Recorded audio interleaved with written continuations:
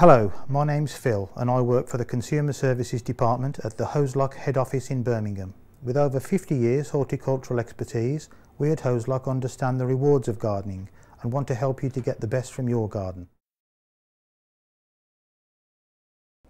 Okay, so we fitted the uh, the LR14 or size C batteries to the AC Plus and now we, we want to start programming it to uh, turn our watering system on um, when we require. The first thing we need to decide is how many times a day we want the watering to occur. This can be once, twice, three times or four times a day. Uh, we can also uh, ask the computer to do it every two days, every three days or every seven days if we want to. When we've decided that we then need to tell the uh, computer um, when to start, how long to run for and how many times a day this has to occur. So the first thing we have to do is tell the computer what the current time of day it is. So let's just say it's 9 o'clock in the morning at the moment. We turn the dial on and refer to the central red dial which is a 24 hour clock and we set that to the 9 o'clock position.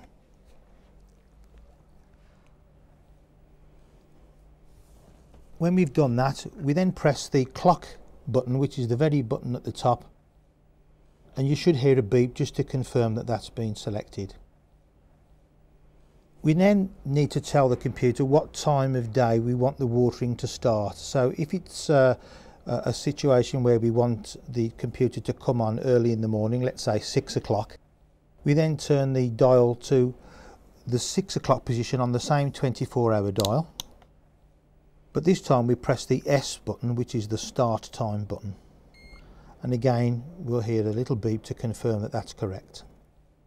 The next thing we have to decide is how many times a day we want the watering to occur, whether this is every 6 hours, 8 hours, 12 hours or 24 hours, or every 2, 3 or 7 days. So let's say we want this to happen twice a day. We select the 12 hour position with the dial on the green sector. And this time we press the green button to confirm that that's correct and you'll hear the little beep. The last thing we have to tell the machine is how long to turn the water on for. We've decided perhaps that we want to select 10 minutes.